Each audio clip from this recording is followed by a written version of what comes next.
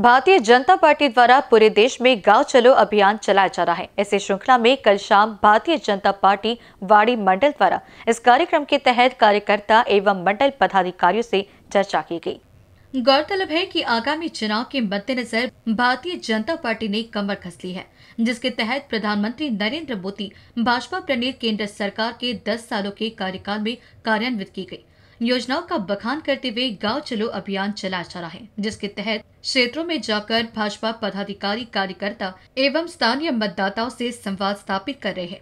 उसी श्रेणी में भारतीय जनता पार्टी वाड़ी मंडल द्वारा अध्यक्ष आनंद बाबू कदम के नेतृत्व में एवं वाड़ी शहर अध्यक्ष कैलाश मंथापुरवार, जिला महामंत्री महिला आघाड़ी सरिता यादव, युवा मोर्चा महामंत्री राहुल ताड़ी पूर्व नगर सेविका आशा कडू, शंकर कडू, गौरव कडू, सतीश उगले, माधव भोयर शिव शंकर तिवारी, विक्रांत द्विवेदी आदि की उपस्थिति में वाड़ी नगर परिषद प्रभाग क्रमांक 10 अंतर्गत आने वाले रघुपति नगर संभाग में गाँव चलो अभियान चर्चा सभा का आयोजन किया गया था, जहाँ बड़ी संख्या में भाजपा कार्यकर्ता मौजूद थे। इस समय वाड़ी मंडल अध्यक्ष आनंद बाबू कदम और जिला महामंत्री भाजपा सरिता यादव ने अपनी प्रतिक्रिया व्यक्त की। आज यहाँ रघुपति नगर में हमने गाँव चलो अभियान की बैठक ली है। इस माध्यम से सबको सूचनाएँ दी है। ये केंद्र सरकार और राज्य सरकार की जो अनेक योजनाएँ लोकोपयोगी, उसके पत्रक हमने बांटे हैं। उसके बारे में जनता को समझाया है और जो भी गाँव में अपने आमदार के थ्रू, खासदार के थ्रू, राज्य सरकार के थ्रू विकास काम होती है, उसके बारे में जानकारी दी है।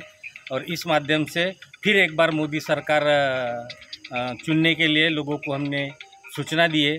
जो जो मतदार यादी अपनी बनी है, वो मतदार यादी की अभ्यास करना धार्मिक स्थलों को विज़िट देना, अनेक तबके के जो संस्था के लोग हैं, उनसे संपर्क करना, इस माध्यम से अपने साथ जोड़ने के लिए ये कार्यक्रम चल रहा है, गाँव चलो अभियान। अभी हमने जो पूरे देश भर में विकास काम किए, जैसे रास्ते के काम हो, महिलाओं के लिए योजनाएँ हैं किसानों के लिए योजनाएँ जितने योजना किए वो विकास के दम पे हम इस बार 400 पार का नारा देके 400 बार करने वाले और अदर पार्टी के जो लोग हैं, पूरे देश भरे में, वो भी हमारे साथ जुड़ रहे हैं और उस कारण हम इस बार 400 पार करने वाले महिलाओं के लिए मोदी सरकार ने अनेक योजनाएँ निकाली हैं।